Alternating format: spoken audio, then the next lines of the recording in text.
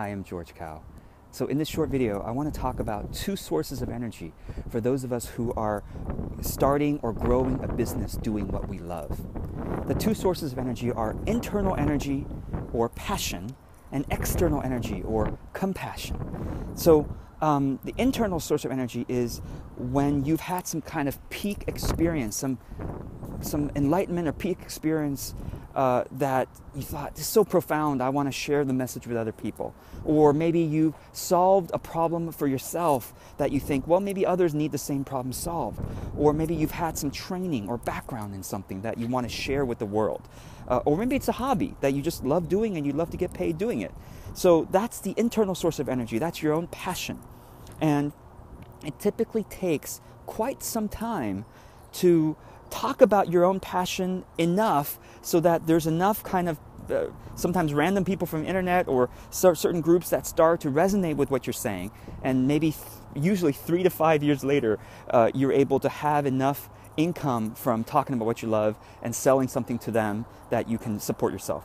The other source of energy is external energy, or you might say compassion, which is when you actually are, are meeting with individual people and uh, seeing you see you talk with them enough you be with them enough that you see their suffering. You see their problems. You get to really know what their problems are what their needs are what their challenges are.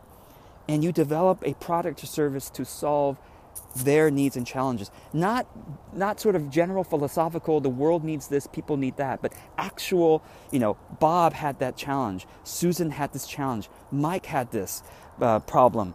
You know, Amy had this challenge, and then I developed a service to, to solve, you know, uh, Isabel's problem or Laura's problem, right?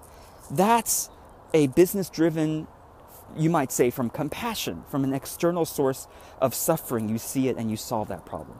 And because money comes from other people, money doesn't just come from your own passion unless you have so much passion for so long that you're able to enthuse your own enthusiasm infects others. But that usually takes quite some time and a lot of energy. But when you when, when you realize that money comes from other people and you solving their suffering and problem money comes faster income comes faster you get clients faster and sooner and it's so it's not that one way is better than the other but it really depends on your needs.